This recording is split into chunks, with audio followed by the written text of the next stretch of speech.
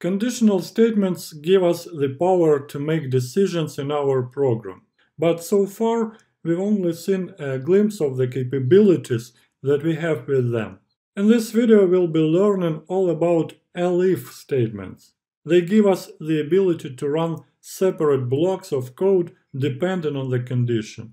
They are also known as else-if statements. Now, how they work?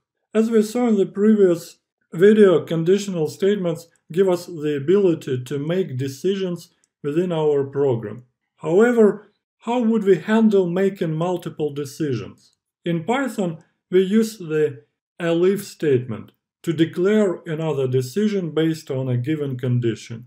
Elif statements must be associated with an if statement, meaning that you cannot create an elif without any if. Python works in top to bottom order. So it checks the first if statement.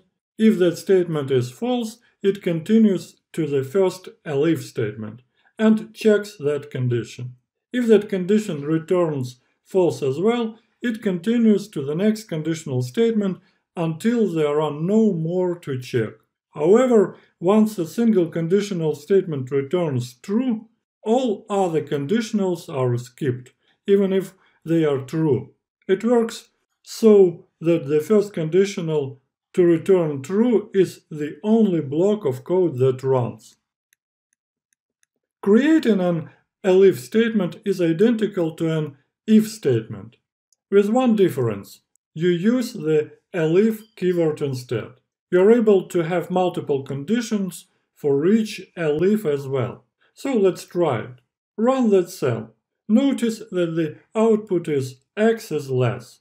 It checked the initial if statement, but since that returned false, it moved to an elif conditional statement. That statement returned true and the block of code within it ran. Now we can check multiple elif conditions. Having the ability to write multiple decisions based on a single variable is a necessity which is why elif statements were built. Take the following code for instance. Go ahead and run that cell. The resulting output is equal. The first if and elif statements both returned false, but the second elif statement returned true, which is why the block of code ran. You can have as many elif as you want, but they must be associated with an if statement. Please note that within the conditional we perform addition but we wrap it within parentheses so that it executes the math operation first. We've gone over how Python uses indentation to separate blocks of code. So far, we've only seen one indentation level. But what if we added an if statement within an if statement? Let's go ahead and run that cell the output results in x is equal to z.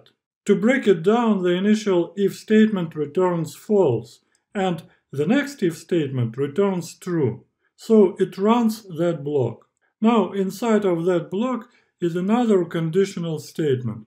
So it checks the first if statement, which returns true, and run the block of code inside that. Now some words about if statements versus elif statements. A major difference that you'll need to understand going forward is the use for elif statements against using multiple if statements. All elif statements are connected to one original if statement, so that once a single conditional is true, the rest do not run. Let's see an example. Go ahead and run that cell. Notice that the resulting output is both print statements here. This is due in part to having two if statements. These if statements are not related to each other.